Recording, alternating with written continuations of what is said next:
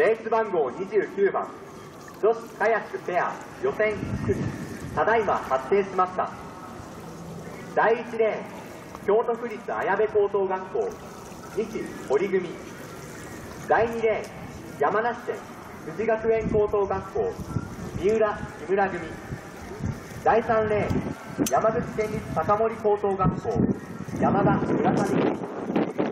第4レーン県立八尾市高等学校西川亀井組第5レーン石川県立小松商業高等学校安田亀山組第6レーン北海道南富良野高等学校紀行小日向組第7レーン沖縄県立小禄高等学校上原下地組第8レーン宮崎県立宮崎商業高等学校荒川安藤組第9レーン栃木県立佐野東高等学校宇田川遠藤組以上です。